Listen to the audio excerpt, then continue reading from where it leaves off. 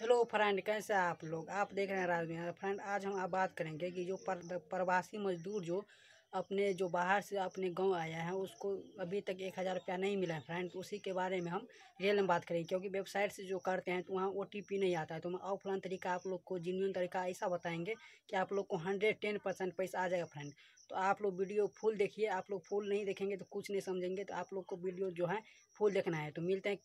तो चल। तो चलिए, आप लोग को हम बताते हैं।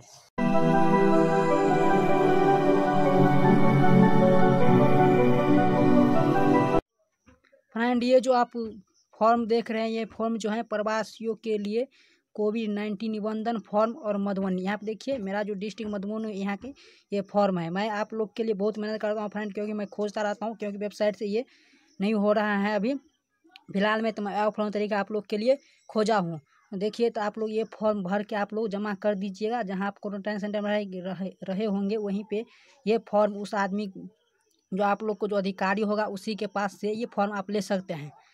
तो देखिए, यहाँ पे देखिए केंद्र का नाम आप लोग जिस केंद्र पे रहे रहे होंगे क्वारंटाइन सेंटर में ये उस, यहाँ पे उसका नाम यहाँ पे हो जाएगा। यहाँ पे देखिए अपना, आप अपना प्रखंड दे दीजिएगा और यहाँ पे दिनांक, जिस दिन आप क्वारंटाइन सेंटर में रहे होंगे ये दिनांक दे देना है। यहाँ पे देखिए समान विवरण में कुछ जानकारी देना है प्रवासी मजदूर अन्य व्यक्ति का नाम यहाँ पे अपना नाम दे सकते हैं और अपने पिता पति का यहाँ पे नाम दे सकते हैं और यहाँ पे अपना मोबाइल नंबर दे दीजिएगा और यहाँ पे देखिए अपना उम्र और यहाँ पे अपना लिंग पुरुष या महिला यहाँ पे कोटि जैसे कि आप कौन सा जाति का हैं यहाँ पे वो पड़ेगा यहाँ पे मोबाइल नंबर अपना दे दीजिएगा यहाँ पे देखिए कौशल कार्य निपुणता यहाँ पे ये दे और आप लोग क्या आपको में गुण है क्या वर्क करते थे ये यहाँ यहाँ पे आप लोग को दे देना है यहाँ पे देखिए उच्चतम योग्यता आप कितने तक पढ़े लिखे हैं, वो आप लोग को यहाँ पे दे देना है। यहाँ पे देखिए अस्थाई पता, आप कौन मतलब कहाँ आप अस्थाई पता में रहते हैं?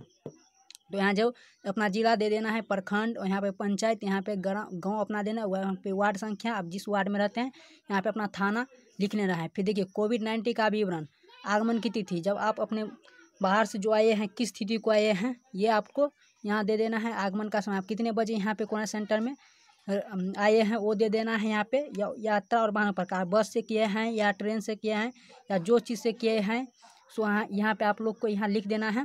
आप, यहाँ आप देखिए यदि सरकारी से आप आए हैं तो सरकारी में दे दे दीजिएगा, यदि निजी से आए हैं तो निजी में दे दीजिएगा।